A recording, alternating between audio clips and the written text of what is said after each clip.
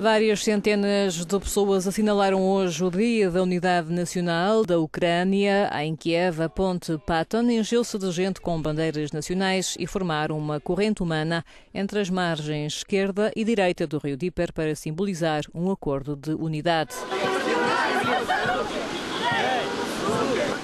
Nada divide os ucranianos, nem a língua, nem a história. Nós estamos unidos em tudo. Estamos a ser separados por aqueles que beneficiam com isso, os políticos. É uma maneira mais fácil de governar o país. Acredito numa ideia de um Estado independente. O encontro tem sido tradicionalmente organizado pela Irmandade do Cosaco Militar. Os participantes, na maioria estudantes de diferentes regiões do país, foram desta vez convidados a deixar quaisquer diferenças políticas para trás.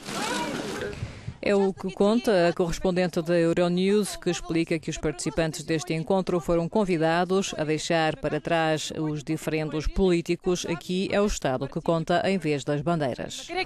Euronews, caiu.